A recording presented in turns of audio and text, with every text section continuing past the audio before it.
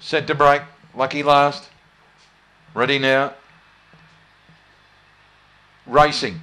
And away well in the centre, Samsara Lass straight over to lead settling. Over going up on the road, Little Mix and very wide out Kynes Hybrid. Down and out there, Electra Tiley.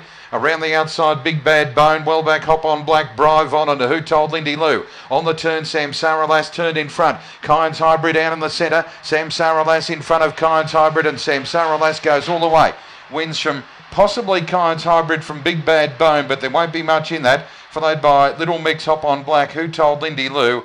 And back with the tail enders there uh, would have been Bry Von, Electra Tiley a long way back in 2218.